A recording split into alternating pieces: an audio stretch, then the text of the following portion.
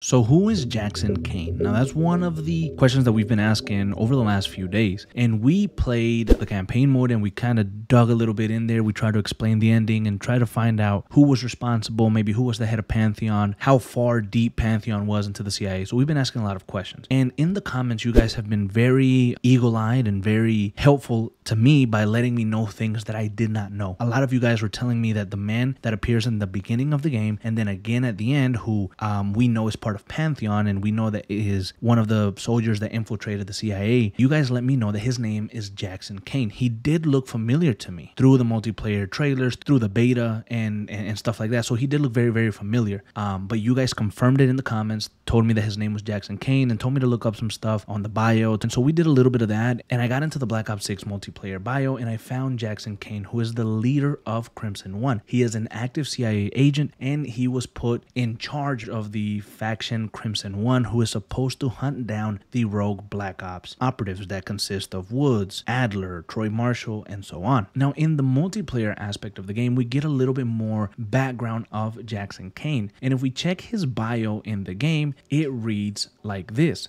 Jackson Caine was always destined to be a Marine, inspired by the sacrifices of his father, who returned from Vietnam a broken man. Caine courageously enlisted at 18 years old and he trained alongside Troy Marshall, and they were both taught by Tamira West Point Chambers.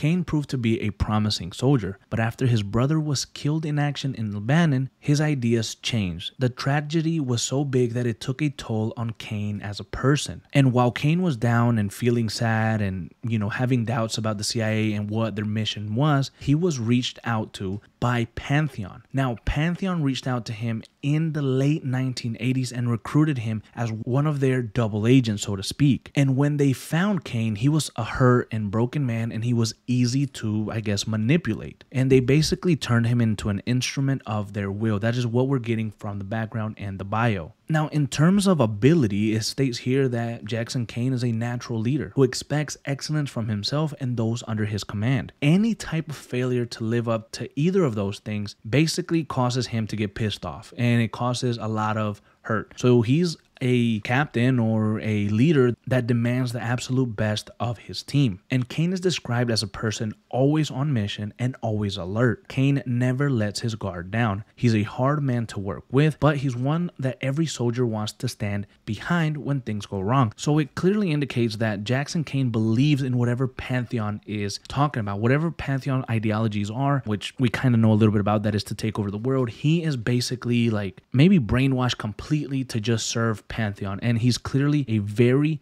strong, very courageous, and very dangerous individual. And so he is the perfect man to hunt down the rogue agents. But this information is extremely, extremely valuable because it adds more lore to Caine Jackson. And, you know, a lot of us that are really into the campaign and we kind of just play the campaign and hope that the campaign answers every single question that we have and we don't have to go looking for it in multiplayer in Warzone. You know, we don't expect to have to do that, but clearly Call of Duty expects us to do it. So by doing that, we find out more information of him. So now it adds depth to Jackson Caine and we know who the hell he is. I just thought he was a typewriter. I thought he was a typewriter and maybe he was an assistant of CIA Director Daniel Livingston. I thought that maybe he was just put in place by Pantheon there to kind of spy on Livingston and kind of see the inner workings of the CIA. But now we know that he's an actual soldier. He is very skilled and he's very dangerous. And so some of the theories that some of you guys were having was saying that maybe Jackson Caine was manipulating or in charge of Jane Harrow. And maybe he was assigned to her by Pantheon to like keep a close eye. And one thing that kind of maybe brings truth to that, or one thing that can make me believe that is when Jane Harrow in the very first mission, the very first cutscene, tells Troy Marshall, meet me in my office. And instantly the camera changes to Caine and Caine just stares at her like he's like giving her a look, you know? And I guess if you put it in perspective and now that we know what we know, it looked like Caine was kind of like saying like, don't, you know, don't say anything stupid or don't say, don't tell nobody about Pantheon, beat beat your ass. You know, it, it could have been something crazy like that because he had like this killer look in his eye when he said that to Troy Marshall. So maybe something kind of, maybe something put him on edge, or maybe he was just a little suspicious. And yeah, maybe that's true. Maybe Jackson Caine was one of those guys that was looking over Jane Harrow and making sure that she did what she needed to do and that the soft spot that maybe she had for Troy Marshall didn't affect her work for Pantheon. And I thought that was an incredible theory. And, you know, that's credit to you guys down in the comments. And so with the ending of Black Ops, right, we leave things open ended. But now that we have more information on Jackson Caine and we know exactly who he is and what he does, we can kind of form an idea of what's going to happen in the Warzone story. It's clearly going to follow Jackson Caine hunting down the rogue Black Ops operators, and we might get to see a little bit more of his backstory, or we might get to see a little bit more of who leads him. We might get a meeting or a cutscene in the Warzone story in later seasons of him meeting with Pantheon